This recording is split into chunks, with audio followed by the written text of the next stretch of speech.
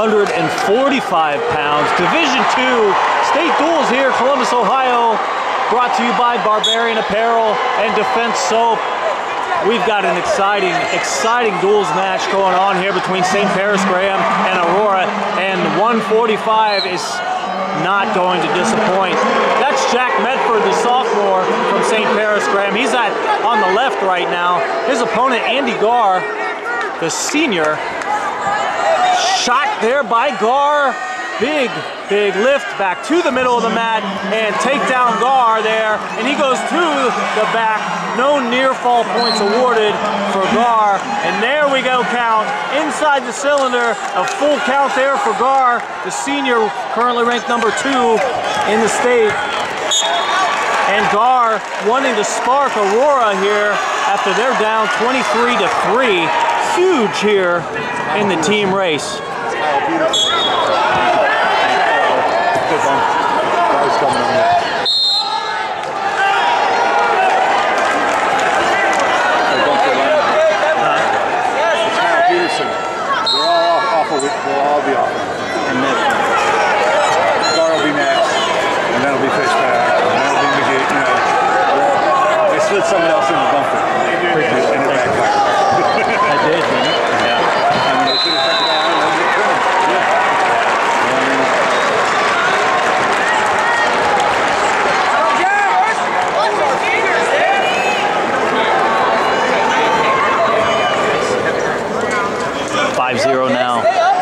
Petersen. Kyle Petersen from Aurora.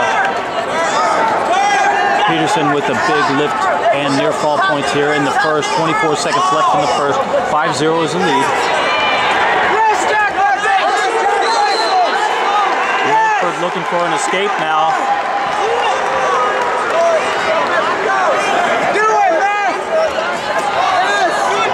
One point awarded for Mefford inside of a minute, or inside of, of 10 seconds rather, in the first period. Now we're going to end the first period with a four point lead in favor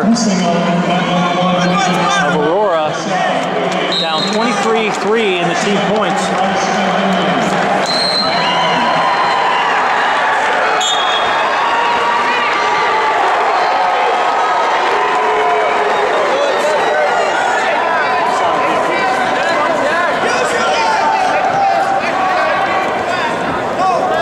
Kyle Petersen, the senior from Aurora, ranked 12th.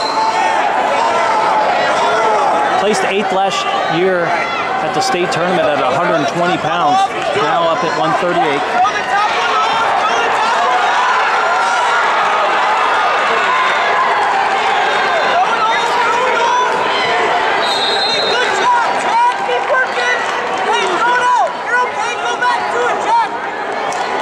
Petersen up at 145 to take on Jack Mefford. Now in the lead by four. Got power half there. Looking for a turn. And we go dangerous there on top.